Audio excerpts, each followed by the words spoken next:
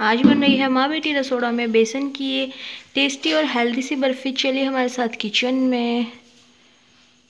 राजस्थानी बेसन की बर्फ़ी बनाने के लिए हमने यहाँ लिया है दो कप बेसन। बेसन हमने यहाँ मोटा लिया है।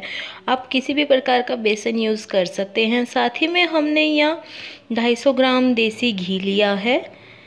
एक कप मावा लिया है, जिसको हमने ग्रेट कर लिया है। हमारा घर का बना हुआ मावा है। हमने यहाँ 200 ग्राम चीनी ली है। गार्निशिंग के लिए किशमिश, बादाम और इलायची लिया है। गैस पर रखेंगे एक मोटे तले की कढ़ाई। उसमें ऐड करेंगे पहले हम एक कप घी।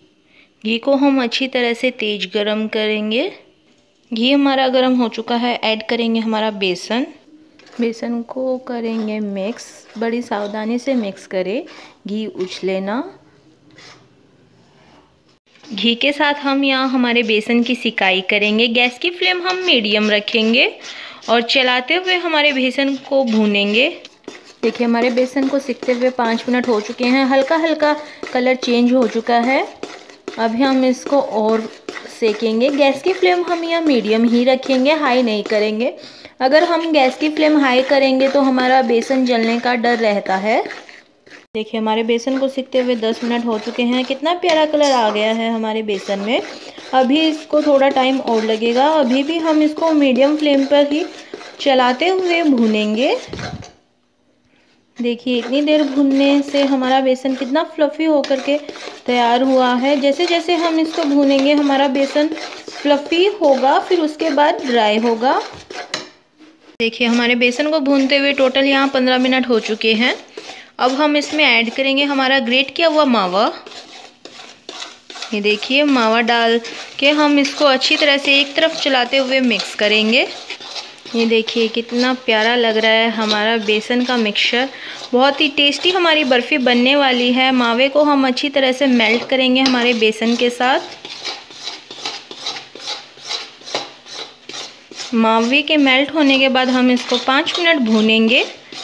अगर आपने हमारे चैनल को अभी तक सब्सक्राइब नहीं किया है तो टेस्टी और हेल्दी इजी वीडियोस देखने के लिए हमारे चैनल को सब्सक्राइब करना ना भूलें। पास ही में बेल आइकन क्लिक करना भी ना भूलें। देखिए, हमारे बेसन के बबल्स ख़त्म होते हैं। इतने हम हमारे बेसन को मावे के साथ अच्छी तरह भूनेंगे। देखिए, हमारे बेसन के बबल्स धीरे धीरे ख़त्म हो रहे हैं।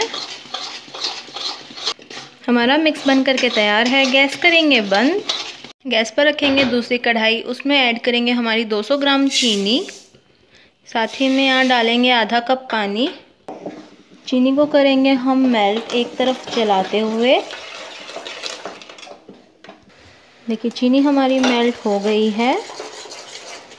चीनी मेल्ट होने के बाद हमने इसमें ऐड किया है दो पिंच येलो फ़ूड कलर आप यहाँ ऑरेंज फ़ूड कलर भी ऐड कर सकते हैं। ऐड करेंगे, साथ ही में आधा छोटी चम्मच इलायची पाउडर दोनों चीज़ों को हम अच्छे से मिक्स करेंगे हमारी चीनी और पानी के साथ। यहाँ हम एक तार की चाशनी बना करके तैयार करेंगे। ये देखिए, इस तरह से हमारी चाशनी का तार बनना चाहिए। हमारी चाशनी पूरी बन करके तैयार है। गैस करेंगे हम बंद।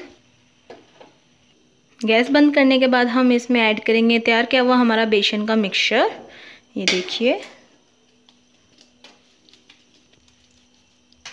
चाशनी के साथ हमारे बेसन के मिक्सचर को अच्छी तरह से मिक्स कर थाली को करेंगे घी से ग्रीस ट्रांसफ़र करेंगे हमारा तैयार किया हुआ बर्फ़ी का मिक्स देखिए मिक्सचर को हमने थाली में अच्छी तरह से फ्लैट करके सेट कर लिया। अब गार्निश करेंगे हम बारीक कटे हुए हमारे बादाम से। हमारी बर्फ़ी को हम सेट होने के लिए छोड़ेंगे किचन सरफेस पर आधे घंटे के लिए। करेंगे इसकी कटिंग बर्फ़ी हमारी अच्छे से सेट होकर के तैयार है। अब हम इसको कर लेते हैं कट देखिए, इस प्रकार से हम हमारी बर्फ़ी में कट लगा करके तैयार करेंगे। बहुत ही सॉफ्ट हमारी बर्फ़ी बन करके तैयार हुई है। देखिए, दूसरी साइड से भी हम इसी प्रकार से कट लगा करके तैयार करेंगे।